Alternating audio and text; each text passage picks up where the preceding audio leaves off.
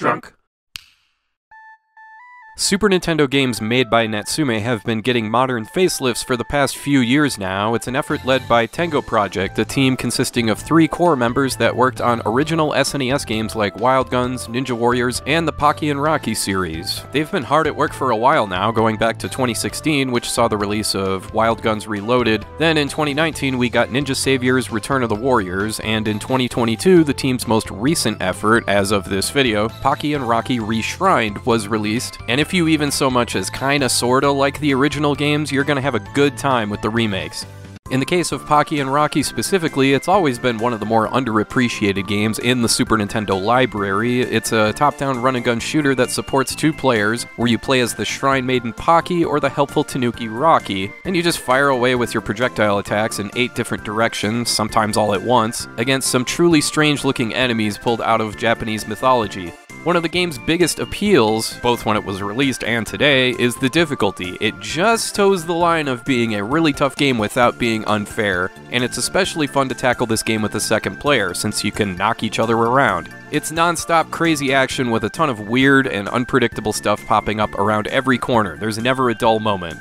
Pocky and Rocky Reshrined starts out as a typical remake, and the first two levels from the original game are beautifully recreated, just with everything bigger, faster, and more detailed and more crazy. Remember this octopus boss at the end of level 2? Well, now it looks like this. Just slightly more terrifying, but it seriously looks awesome, and it feels great when you finally finish this thing off. I think when most people imagine a modern remake of a Super Nintendo game, this is what they think of. The same pixel art graphics style is held intact, just expanded to fit a 16:9 view screen, but with more characters, more items, and brand new levels. It feels like the best possible special edition director's cut for a game like this that you could ask for, especially since, you know, not every old game can get a remake the size and scope of something like, say, Final Fantasy VII. This is just little old Pocky and Rocky, but Tengo Project hit it out of the park once again.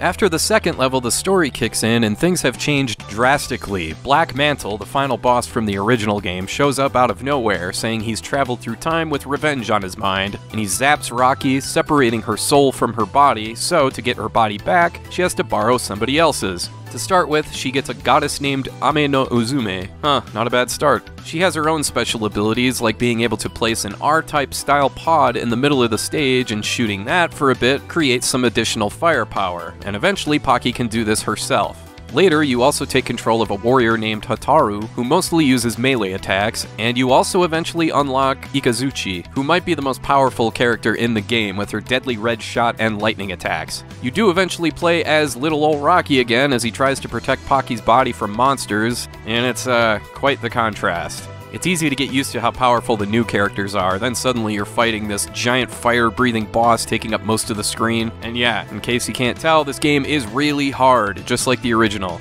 Still, the difficulty is handled well. There is an extra easy mode to unlock if you're brand new to this style of gameplay, and even in the easy and normal settings, if you take damage, you have a chance to get your power up back. On hard mode, you don't, and that puts just as much emphasis on dodging as there is on attacking.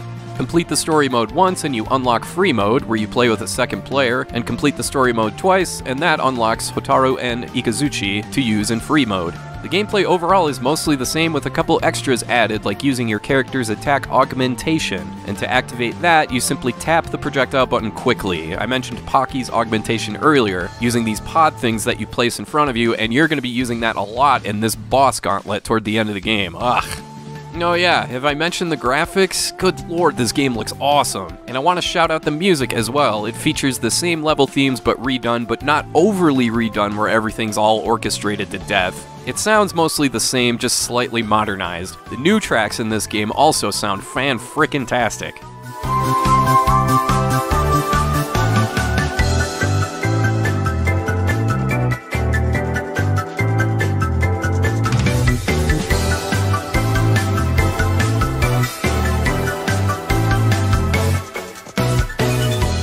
So yeah, Pocky and Rocky Reshrined is an easy recommendation. In fact, pretty much everything Tengo Project has done, old or new, is an easy recommendation. I mean, I'm starting to feel like I sound like Troy Aikman talking about Patrick Mahomes when during a game he'll say something like, What about the job Patrick Mahomes has done to be able to have the kind of success that he has had to do the things that he's been able to do? It's like I'm running out of ways to praise their work, so I'm left with just empty platitudes. That's just a long way of saying anything from Tengo Project is a day one purchase for me from here on out. This is exactly how I'd like to see Super Nintendo games remade. Later this summer, they've got a Shadow of the Ninja remake coming up, and I can't wait to play it. But in the meantime, I'm really happy spending my time playing their releases up to this point, and you should definitely check them out any way you can. And you can do that on Switch, PS4, Windows, and both Xbox Series X and S.